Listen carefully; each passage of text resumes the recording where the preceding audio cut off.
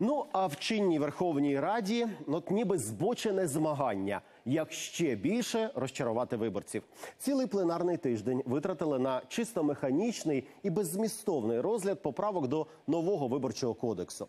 Коли це закінчиться, та чи встигне парламент до виборів запрацювати по-справжньому? Далі у нашому сюжеті. Щонедень депутатів у залі все меншає. Хоча, якщо вірити результатам електронної реєстрації, порожня зала це лише оптична ілюзія. Зараз в залі десь 35-40 людей. Зареєстровано було 299. Коли е, працює Верховна Рада, ну, незалежно від того, чи сесійна неділя, чи комітетська неділя, це кажуть від 5 до 8 мільйонів гривень на день. І ці бюджетні мільйони зараз витрачаються на імітацію роботи над виборчим кодексом. Доповідач монотонно зачитує кожну поправку, потім кожну стріском провалюють. 90% з 4568 правок це правки фейкові. Вони туди внесені для того, щоб затягнути процес. мажоритарники, які ну старі, які прикормлені округи і так далі, які е, на цих же округах найбільше наживаються, але от через гречку, підкуп, деякі там адміністративний ресурс їм керують. От цим людям невигідна нова система. Коли вже підійдуть до голосування за виборчий кодекс, ми знаємо, що скопом прочитають поправки, які треба прийняти, які треба відхилити. І це буде пакетом. І тому ця вся робота зараз це такий, знаєте, мартишкін труд. І саме через те, що всі відхилені поправки одним пакетом будуть переголосовувати за кілька хвилин до фінального рішення, спрогнозувати, яким буде виборчий кодекс, неможливо. І фактично а, в правій колоночці нашої таблиці перенесена редакція першого читання. У першому читанні мажоритарки в чистому вигляді немає. Там дійсно є пропорційні пропорційна система з відкритими списками. Ці поправки, особливо в частині, яка стосується виборів народних депутатів, можуть як е, залишити повну мажоритарку, так і залишити пропорційну систему. Тобто спектр 180 градусів. Утім, із такими темпами, як зараз, нардепи і до кінця сесії не встигнуть ухвалити нові норми. А тут ще команда президента наполегливо просить перервати виборчу епопею і взятися за кадрове питання. про е, надання згоди на звільнення президентом України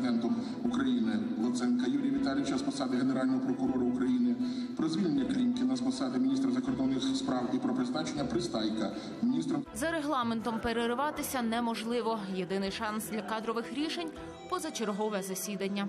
Я, як голова Верховної Ради України, невідкладно призначу день і годину для проведення позачергового засідання. Але перед тим було б добре отримати рішення комітетів, бо згідно закону необхідно по кожному кадровому питанню рішення комітетів. Та навіть якщо президент і попросить депутатів зібратися позапланово, шансів щось ухвалити немає. Цей парламент ігнорує аргументи Зеленського. А вже ж збирали позачергове засідання, коли намагали змінити виборче законодавство. Результат же побачили. Немає жодного смислу тратити сьогодні народні гроші на чергові позачергові засідання. Чому не призначаються силовики і не починаються антикорупційні розслідування? Президент зробив тільки перший крок.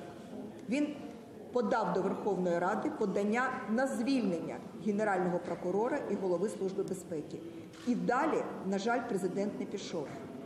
Це дало можливість Верховній Раді двом найбільшим фракціям маніпулювати інформацією і заявити, що вони не будуть голосувати, поки президент Володимир Зеленський не подасть кандидатури на призначення силовиків. Якщо президент конфліктує з парламентом, ну зрозуміло, не буде результату. Жодних законів не будуть. Бути ображеними на президента у частини цього парламенту підстави є. Причина указ про розпуск ради, якого так не хотіли у двох найбільших партіях, що аж пішли до конституційного суду. Але суд визнав рішення президента конституційним. Парламент недееспособный. Парламент изначально преступный. Парламент, приведший страну к катастрофе. Ну какая разница? Ну и даже если он что-то разглянет, он против разглянет. Меня эти вопросы, вот я зашел в зал с вами вместе, вот посмотрел, человек 30 в зале, опять написано 100, там сколько, 300 с чем-то, та же самое вранье, та же самое все.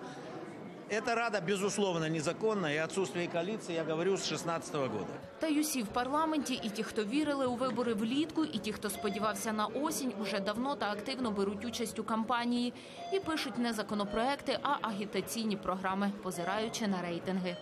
Катерина Лисенко, Ксенія Барвіненко, Василь Міновщиков. Подробиці тижня. Телеканал Інтер.